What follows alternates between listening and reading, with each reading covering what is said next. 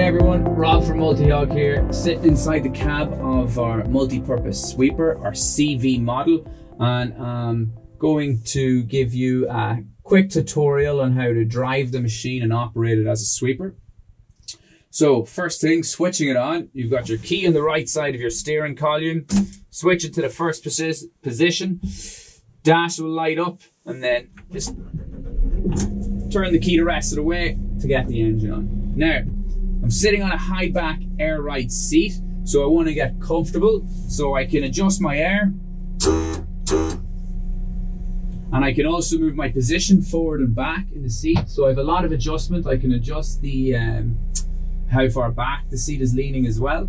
And then on the steering column here, I can push down on the um, on the lever on the floor of the uh, steering column. I can pull it back towards me here.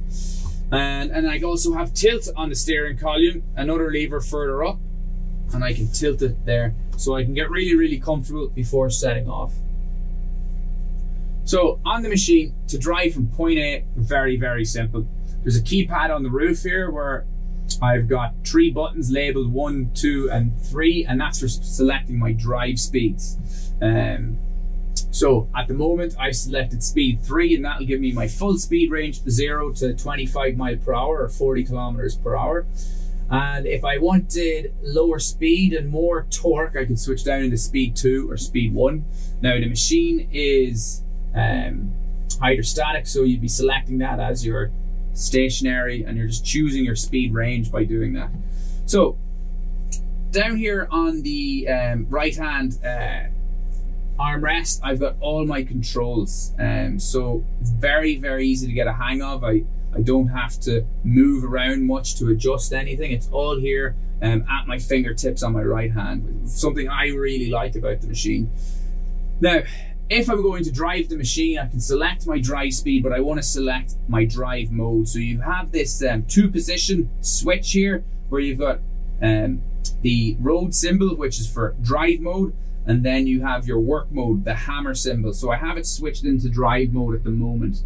Now here then I've got my forward, neutral and reverse switch. So I just want to switch it into forward. Then I have my accelerator and brake pedal down on the floor. So it's really like driving a car where I've got forward, neutral and reverse. I have my speeds on the keypad there on the roof line and then I've just selected drive mode. Making sure my handbrake there is off, which is the button on my steering column and then simply I press my accelerator to start driving. Another feature I like about this machine is the turning radius. It is superb. I have amazing mobility in this machine. Then if I'm coming to a halt and I need to do it fast, I can press my brake pedal and that will really help slow me down. And the machine is hydrostatic drive, so it does slow down on the hydraulics as I lift off. Very, very smooth machine to drive. All right, so to show you how to run the machine as a sweeper, first thing is it's very, very simple on the unit. All I need to do is switch from drive mode to work mode here. And then off the push of a single button or green auto start button, that will set everything up. Your fan speed will come on, your brushes drop down, your suction head drops down, your water uh, for dust suppression will start spraying. All off the push of that button. That makes it so easy to get set up and running. Now, as I'm actually sweeping then, of course I can fine tune my brush speed here on the top uh, knob. So if I wanted more speed, I can dial that up.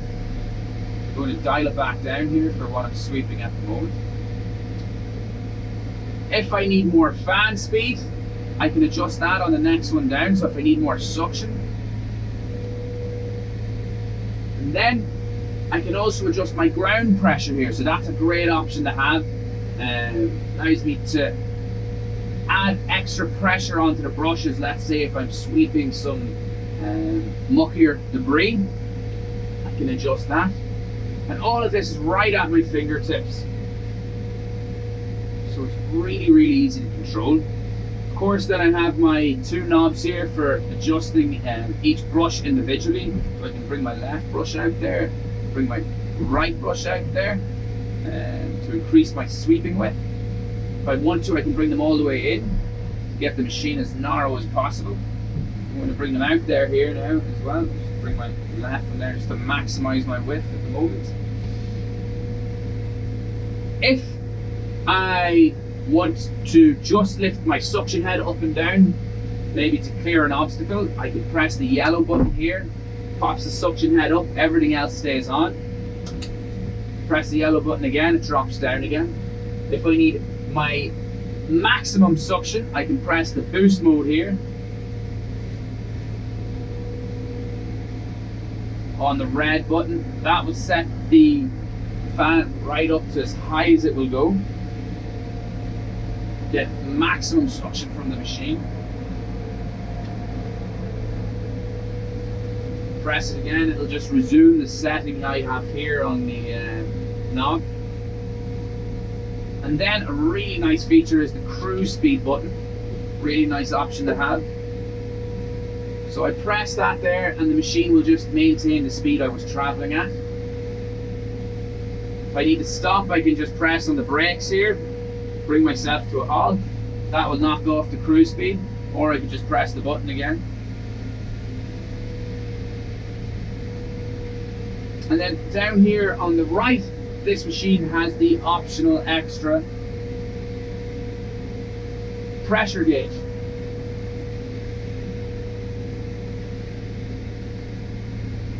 Which is measuring the pressure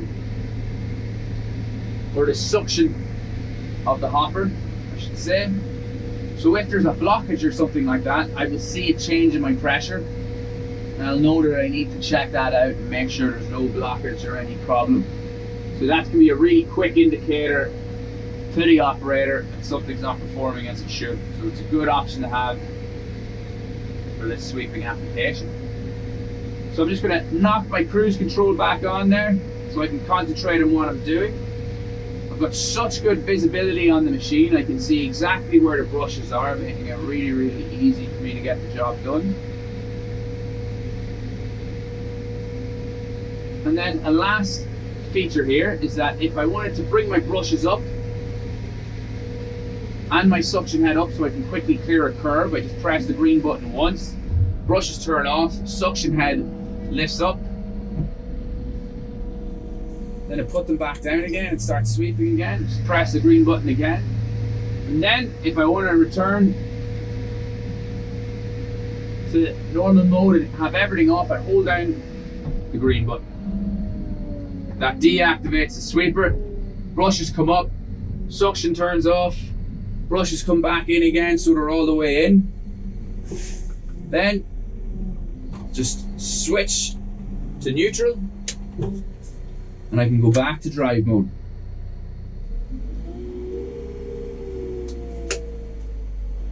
And that's really all there is to it.